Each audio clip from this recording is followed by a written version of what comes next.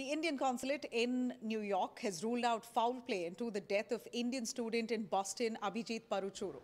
But then questions now arise, how exactly did Abhijeet die? The 20-year-old student who was studying engineering in Boston University, his body was found dumped in a car found deep inside a forest area near Boston University. But yet no clarity on what really caused Abhijeet's death.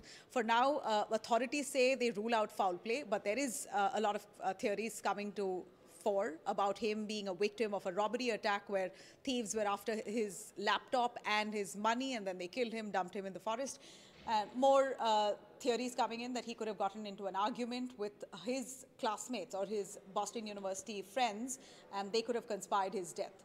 Nonetheless, he was staying with his friends in a rented apartment and they uh, alerted the police officials that he has not returned home after his classes. And that's when the cops tracked his mobile signals and found and traced it back all the way to a forest area where his body was found. Now, well, uh, Uh, at least nine Indians in the last one year alone have been killed under mysterious circumstances. American authorities are sure that Indians are in safe hands, but Indian parents, of course, at this point are worried a lot.